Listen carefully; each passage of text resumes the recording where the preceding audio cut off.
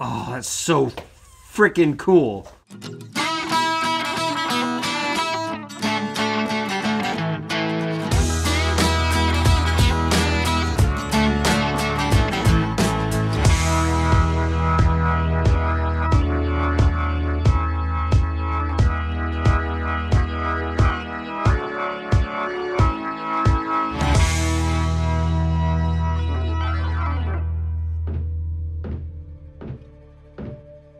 Hello everybody, welcome back to Jason Explains Things. We're here in my dad's shop today to bring you another old Dodge project. This one I'm a little intimidated by and I have been putting off ever since I purchased this truck over three years ago. We are going to be hopefully fixing every major oil leak that this truck has. Uh, we're going to be replacing the rear main seal, we're going to be replacing the oil pan gasket, and since we're going to be opening up all these things, now is a great time to replace the oil pump. So my goal for this video is to give you all the information you're gonna need to do the rear main seal, to do the oil pan gasket, to do your oil pump, the whole thing. Uh, I have looked on YouTube and not found any videos about this on these trucks. So time for me to step up and do it. My particular engine is the 360 V8, the 5.9 liter. But if you have the 318, this will also work for that engine as well. Parts for this job are pretty minimal and inexpensive. Uh, for two other supplies and tools, it's kind of a long list, so here's that list right now.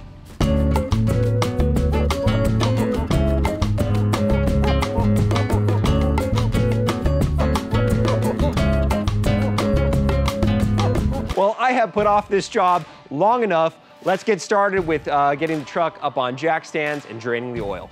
Good luck. You can do it.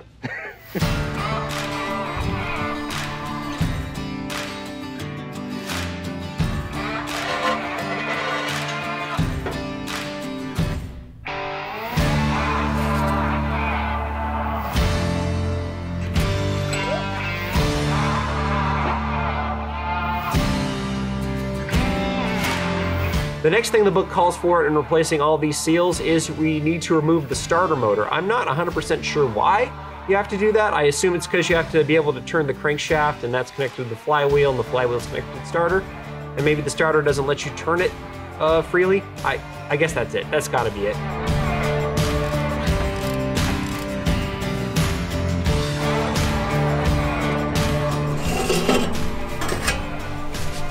Okay.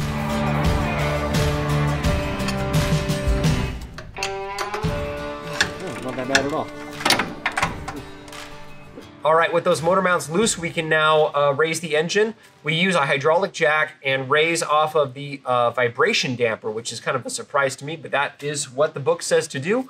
Uh, my floor jack here uh, goes up to about 24, 25 inches, and I measured from the floor to the vibration damper, and we're gonna need about 28 inches. So, we have made this. Now it goes to 28 inches. It'll be fine.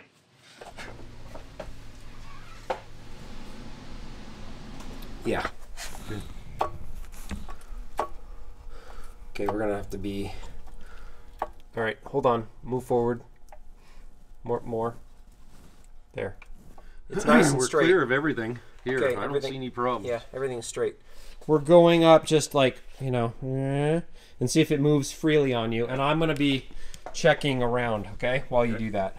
And again, we're only going up a tiny bit. Yeah, there's a gap. Yeah. Yeah, we got it. Okay. Engine is now lifted. We have a nice, good sized gap on both the uh, engine mounts, and it looks nice and even as well. Um, the funny thing about this is uh, this the, the lifting of the engine was the part that was super scary to me. I hear it. Huh? I hear it move. Yeah. Yeah, it's moving for sure. I feel a little bit silly being so nervous about this because I just didn't know what to what what to expect, and it was actually a cake sandwich. but that's okay. How much did we lift? Uh, with my Diablo um, uh, floor jack, we essentially went up and down two times to get that two inches of lift or so. So now we can start removing the bolts in the oil pan to slide it out.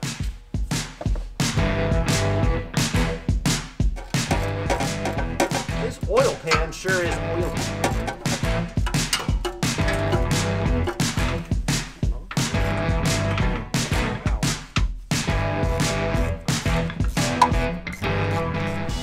Bolts out.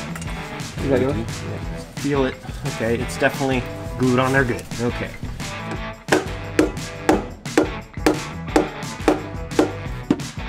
Oh, I got it. Yeah. And then we tilt up, and then this goes. Just, you go ahead and maneuver it. If you need my help, I'll help. There she goes. And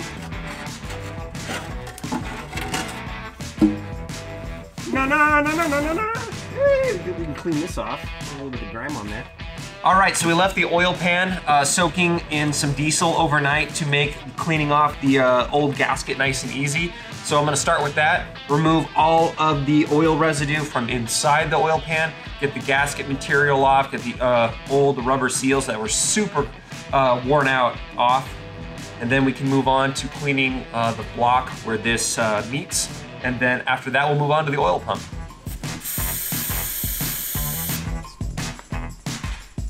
Bam, clean enough to eat off of. Sorta.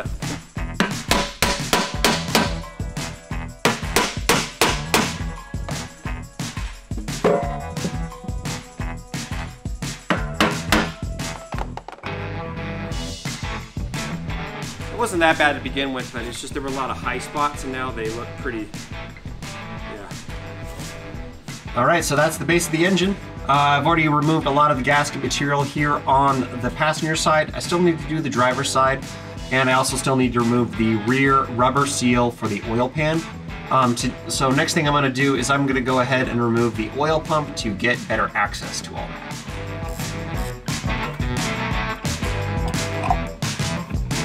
And she's off.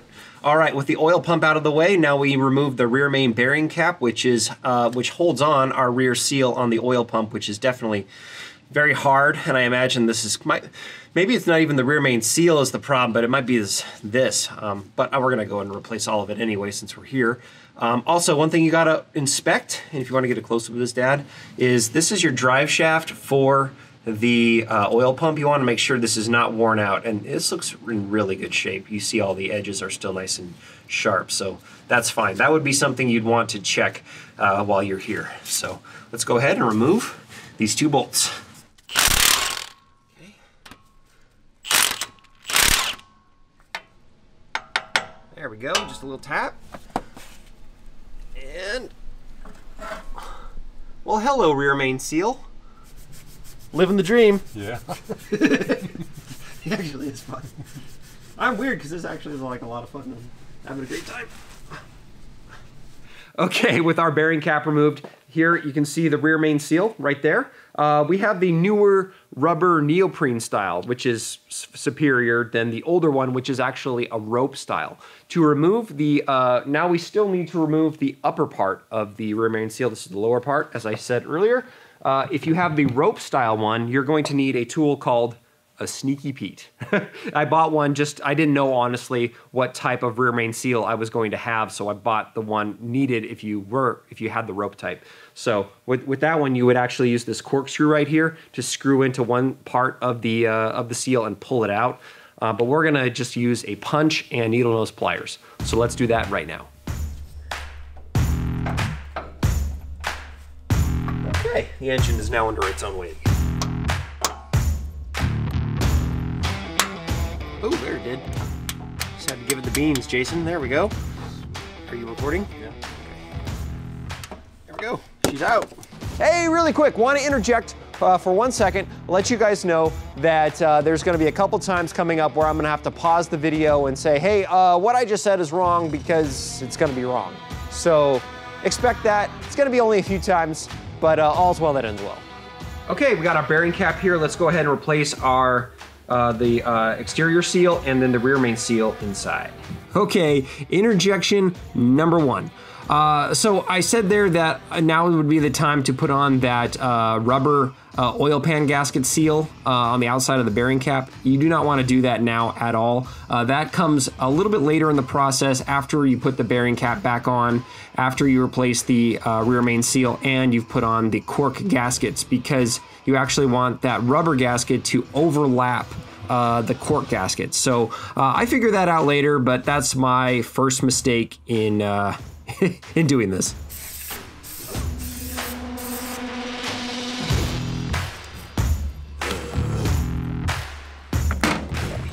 So again, making note of, of that lip being on this side.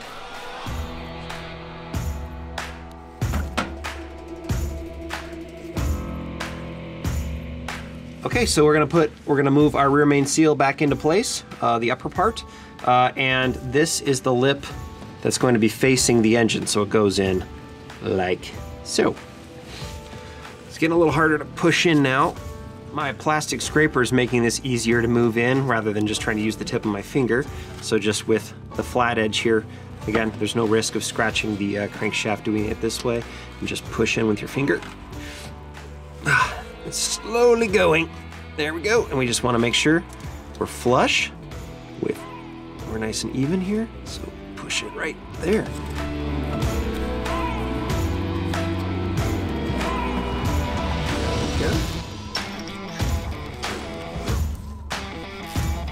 I think it's just the seal's getting compressed. This works.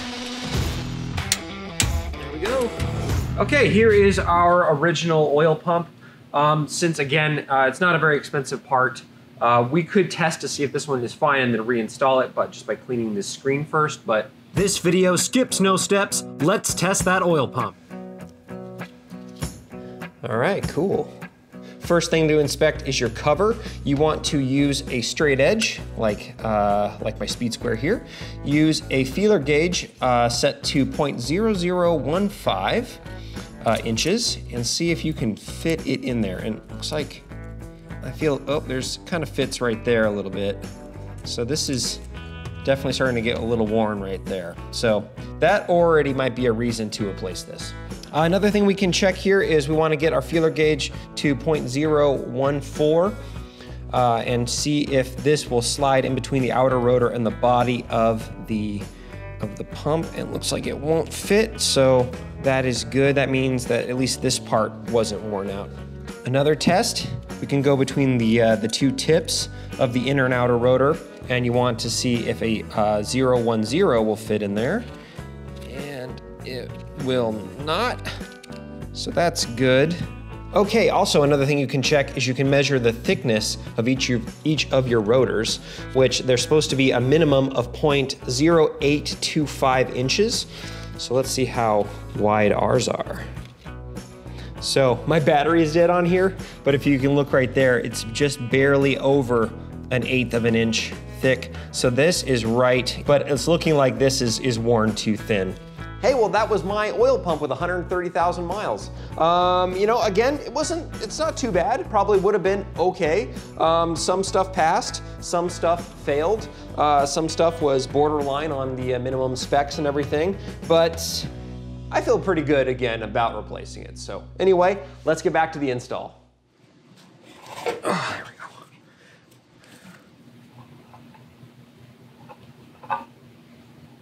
Cool. Ooh, I hear it a lot. Oh, look at all that. Mm. Check it out. You got a shot of that? Yep. That all came out. Anyway, let's go ahead and screw back in our pickup tube now that it's nice and cleaned off, and we'll prime this new pump and put it back on.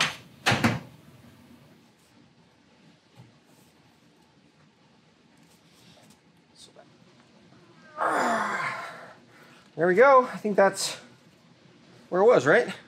Okay, so now we're gonna go ahead and prime this new pump. This is gonna be a little awkward, but you're pouring, you're pouring uh, clean motor oil down into the tube and then working the pump to prime it.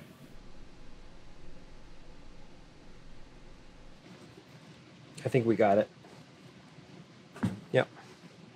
Okay, pump is primed. We just need to put it on now with a brand new gasket into the drive shaft first and then against and I'll use the holes in the gasket to help me line this up a bit.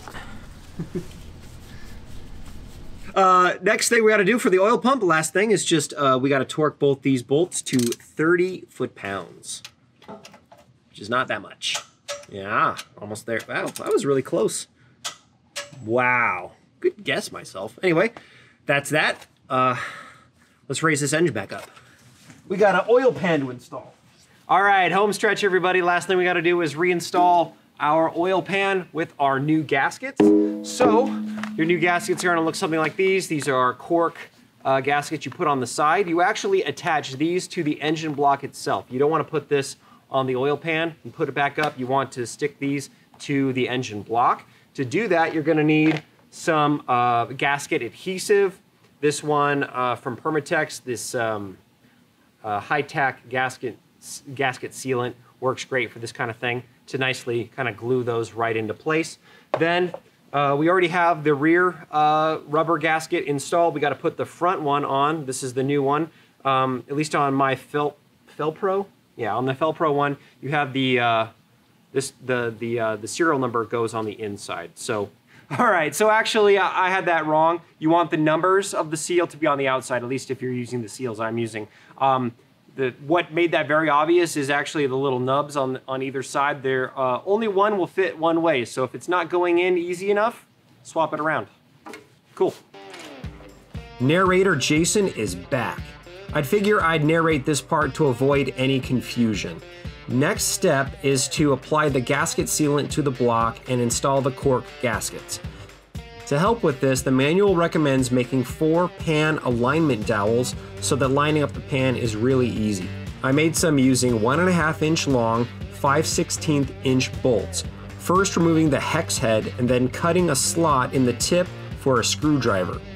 Now while installing the cork gaskets, I got confused about the blue markings. I wasn't sure which side was supposed to be facing up or down.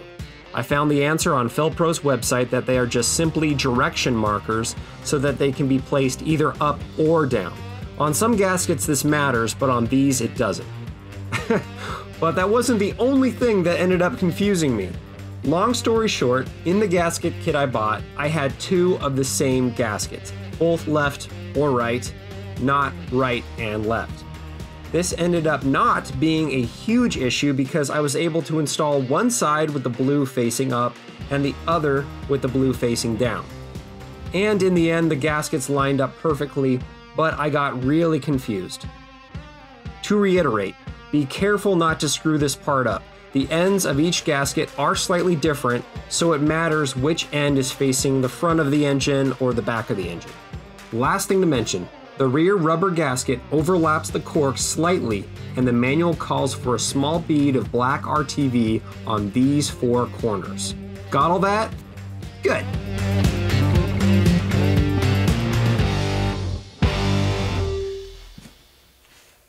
You tell me what you want me to do if there's anything you want me to do. I don't want anything yet. Okay. Okay. Okay, we're gonna have to redo the RTV on this side because I messed it up. Come this side. we're, we're good now. We're in place, but I need to fix that. I'm gonna need to check the uh, the front and see if we messed that side up too. It's fine. Is it It's got a mound. it's got a mound. Yeah. Okay. Yep. Right on we front. we did not mess it up on the front. Good. Just don't want it to squeeze out into the oil pan too much. We'll, we'll line the dowels and put it in. Okay. I got it.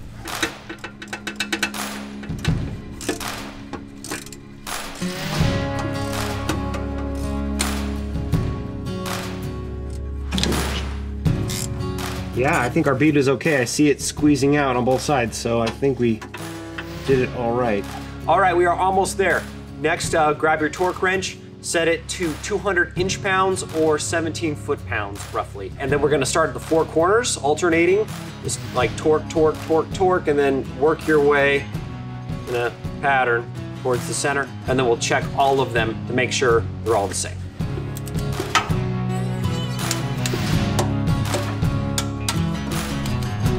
Starter's back on.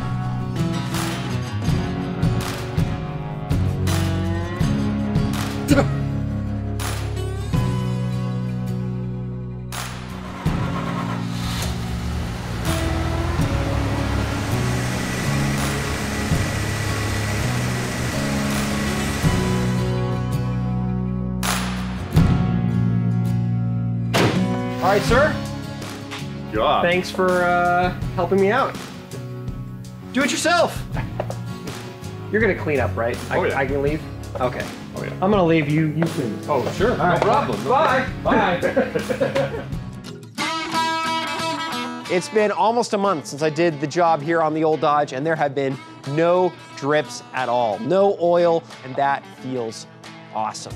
I mean, I, if you watch this whole video and you don't have this truck, I guess what you can take from this whole thing is even if you're doing something you've never done before, even if you're doing something that you kind of mess up on while doing the job, as long as you're patient, take your time, and do your research, you can accomplish awesome things, things you've never done before. I mean, that's what my YouTube channel, frankly, is all about. I mean, I, I don't have one topic I like to do on the channel. I don't do just truck videos or, or just lawn care videos or just whatever. I, I like to do a bunch of different things and try different things because I feel like that's kind of the whole point of life frankly, is to, you know, relationships with people, but also just to not be afraid to tackle different things. Um, so that's why my channel is kind of weird. And that's why I love it. And that's why you're gonna love it too if you subscribe and turn on notifications. That was a segue. Hashtag segue. anyway, thank you all very much for watching. Uh, if you feel like it, you can, uh, again, subscribe and turn on notifications, or you can click on some of these videos here. They're, they're, they're awesome. This one's awesome. That one's awesome. That one's awesome. They're all awesome. And you're awesome. so uh, until next time, don't forget to do it yourself. I'm feeling very cheesy today. It's probably because I've had lots of coffee. all right, bye.